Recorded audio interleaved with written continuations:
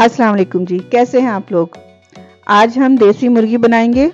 इसके कुछ tips and tricks मैं आपके साथ शेयर करूँगी।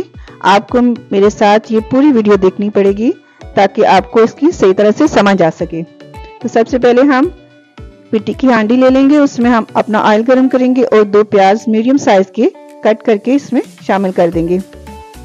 अच्छे से हमने प्याज को ब्राउन करना है। लाइट ब्राउन जैसे ही ये लाइट ब्राउन हो जाएँगे तो इसके साथ ही हमने अपना एक मसाला शाम तैयार करना है जो इसका स्पेशल मसाला होता है। 10 से 12 अदद हमने काली मिर्च ले ली, साबुत, और सूखा धनिया ले लिया साबुत, एक चम्मच, ज़ीरा ले लिया एक चम्मच, एक मोटी इलायची थी और दो छोटी इलायची, सब्ज इलायची जो होती है ना, वो वाली। इसको हमने अच्छे से पीस लेना है। ये मसाला हम फ्रेश ही बनाएँगे। तो इस, जब ये पिस जाए तो इसमें हम छः से सात जो है वो लहसुन के जवे डालेंगे थोड़ी सी अदरक और एक हरी मिर्च। तो इनको हम अच्छे से पीस लेंगे। पीसने के बाद जब हमारा जो प्याज है लाइट ब्राउन कलर का हो जाए तो हम इसमें अपना ये मसाला शामिल कर देंगे। और यकीन करें ये मसाला शामिल करने से इसमें इतनी अच्छी खुशबू आएगी ना। जो फ्रेश मसाला पीस के हम डालते हैं, उसकी बहुत अच्छी खुशबू आती है। ज़रूर ट्राई कीजिएगा इस टिप को। तो अच्छे से हम जब इसको भून लेंगे स्टेज पे ना मैंने पहले दो चम्मच दही भी डाली थी, जो मैं आपको नहीं दिखा सकी। अच्छे से इसको भून के तो हम इसमें अपनी देसी मुर्गी जो है वो शामिल कर लेंगे।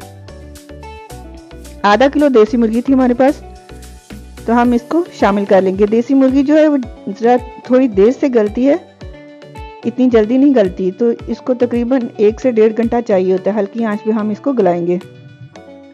यहाँ पे हम इसको अच्छे से भून लेंगे, ताकि अगर जब ये गल जाए ना तो ये स्किन इसकी हड्डियों से अलहदा ना हो। तो यहाँ पे थोड़े से मसाले शामिल कर लेंगे। नमक, एक चम्मच और हल्दी डालेंगे हम और थोड़ी सी लाल मिर्च का पाउडर डालेंगे, वो थोड़ा शामिल करेंगे, इसलिए कि हमने काली मिर्च भी शामिल की थी और हरी मिर्च भी शामिल की थी। इसका जो सारा टेस्ट है, वो काली मिर्च से ही आएगा। अच्छे से हम जब इसको मसाला भून लेंगे तो भी हम इसको, इसमें एक किलो तकरीबन पानी डाल के इसको हम हल्की आँच पे तकरीबन एक से डेढ़ घंटे के लिए पकाएँगे।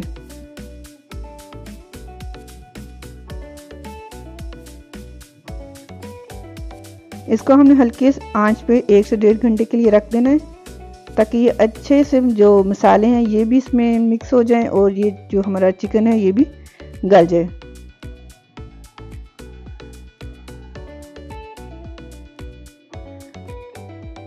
तो यहाँ पे हमारा पानी तो खुश्क हो गया था।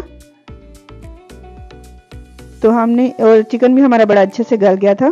तो हम ये जो मसाला है ना, इसको अच्छी तरह से एक दफ़ा फिर से भून लेंगे, ताकि जो प्याज है, ये तकरीबन सारी बहुत अच्छे से इसमें मिक्स हो गए हैं।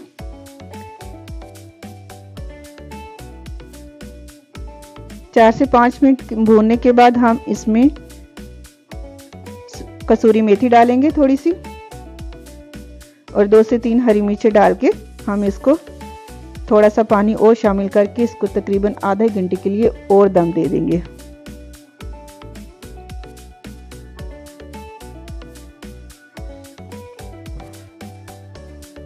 दो से तीन हरी मिर्चें डाल के हम इसमें थोड़ा सा पानी शामिल करेंगे और इसको दम दे देंगे। तकरीबन आधे घंटे के लिए हम इसको और पकाएँगे मज़ीद ताकि इसकी अच्छी सी यहनी और इसका सारा जो फ्लेवर है ना वो इसके मसाले में आ जाए, शोरबे में आ जाए, ये बहुत मज़े की बनती है। ज़रूर ट्राई कीजिएगा और सर्दियों में तो ये सबको खानी चाहिए। ये बहुत अच्छे से भी गल गई थी और देखें, बिल्कुल भी ये मिक्स नहीं हुई मसाले में इतना ज़्यादा पकाने के बाद भी। अभी हम इसको आधे, एक आधे घंटे के लिए, एक, आधे घंटे के लिए हम तकरीबन इसको ना रख देंगे।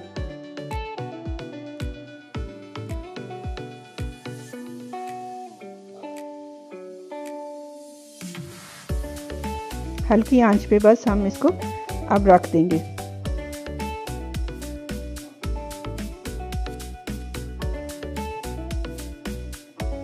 यहाँ पे जी हमारी देसी मुर्गी जो है ना, वो बिल्कुल बन के तैयार हो गई है।